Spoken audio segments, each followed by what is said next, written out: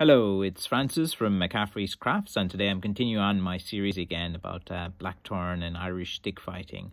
And um, one subscriber there was asking me about, about Mayo and other parts of the country because he was saying I was talking about Limerick and, and Tipperary uh, a lot. And uh, again, that's kind of where it kind of started, and it was the most uh, earlier earliest records I can find are kind of in more in the south and southwest side of things. But I can assure you that it did spread throughout Ireland. There's there's many accounts in many counties that it spread um, the the faction fighting throughout, and it's a bit different in, in certain areas. But like let's just to, just to go to Mayo there because one subscribers asked me specifically. Um, in North May- Mayo. Um, you had these factions called the Gram, uh, was it Gramastines, uh, who fought against the Gallenocks, uh, and they were in the barony of what was called Gallen. Um, that was one, and then in Westport, um, in Mayo, the, the Kilmena men fought against the uh, Ahovana men, and there were also factions recorded in uh, Crownhill as well as Blacken and uh, Liscarney as well. Um, them kind of moving over into to kind of Cavan. Um, the the places there they used to fight were in uh, Belturbet and in County Louth, just north of Dublin. They fought in a place called Dunleer. Okay, so they're the kind of you know the, there's there's a number of other factions in in different areas, but here's kind of an interesting thing. Like Danaher in his book um, was saying that the factions, the uh, the the Shaskans and the Blackfeet, which were called, proved their valor in the Midlands and so on, and in every country in Ireland.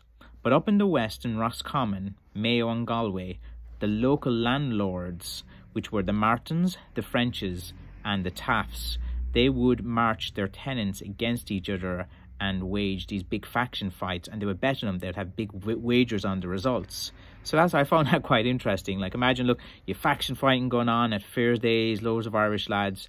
Then you want to see some landlords who kind of say oh maybe there's there's you know bit of bit of early ufc going on here. Let's let's let's start wagering on these fights. And uh, you know I, I found that quite quite interesting that actually the landlords at the time actually wanted to get in on the action. So that kind of, you know, gave gives me the impression that it was quite socially acceptable at the time.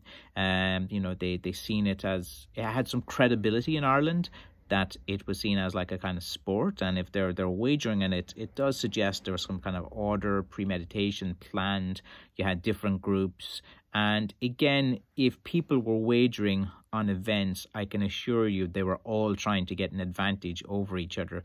Like if you're if you're a tenant or sorry, if you're a landlord and you have your tenants there, you obviously want them to win because you're betting on your tenants. So you're going to be training them. You're going to make sure that you know, here you're a good fighter. Come over here, and uh, you know, like just just like any kind of uh, promoter, they're they're looking for their prize fighters to to to really bring proud to their area. But I, I think it was just about the money for the landlords. You know, the the landlords just wanted to make money, and they just wanted to to take money from their their fellow landlords in, in this kind of betting thing. So I thought, like, I, I you don't see too much about that side of things mentioned in the faction fighters. You hear always about the Black Blackthorns, the fights, and you know the very legendary fights in Kerry and you know Tipperary, where the, the kind of most renowned faction fighting was going on. But every now and again, you come across these kind of nuggets of information that kind of make you think. And again, I just thought it was interesting about how okay there's landlords they're doing wages okay what would be you know the kind of culture around then? And it kind of opens up like you know all of these kind of like um brain pathways Ooh, what was going on here? What was going on there?